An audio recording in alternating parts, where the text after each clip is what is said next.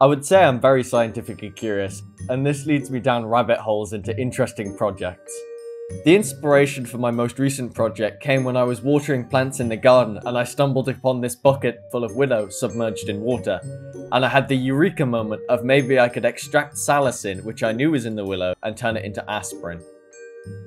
But then, lockdown happened, and I no longer had access to a lab and so I couldn't complete my original project. And then I had this brainwave that maybe the same salicin in the willow could be used to help plants grow.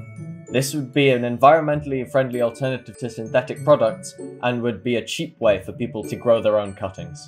To test this hypothesis, I did a controlled experiment on 80 different plant cuttings.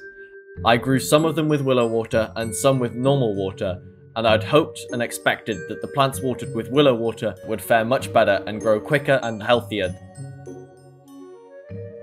Unfortunately, my results did not show this at all. Despite having some positive results on the plants which are expected to be hardest to grow, overall my results were a bit of a disaster. They were inconclusive and not what I'd hoped.